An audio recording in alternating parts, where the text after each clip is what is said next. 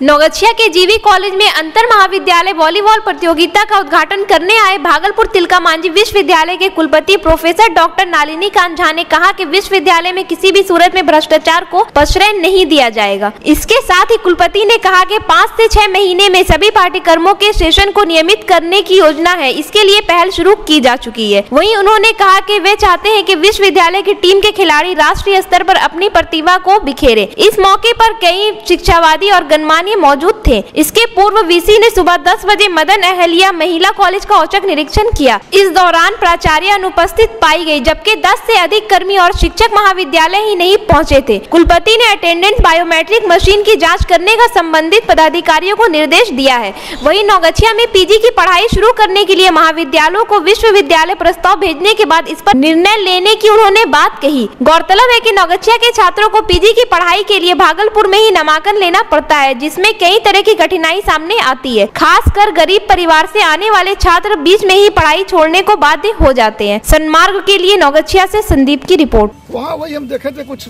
शिक्षक है कि नहीं है। तो प्रधानाचार्य नहीं थे लेकिन पता चला जो कि उनकी तबीयत खराब है। जी सभी शिक्षक थे उपस्थित? सभी कुछ तो नहीं थे लेकिन मैंने कहा जो बायोमेट्रिक से देखो हमको कहा है।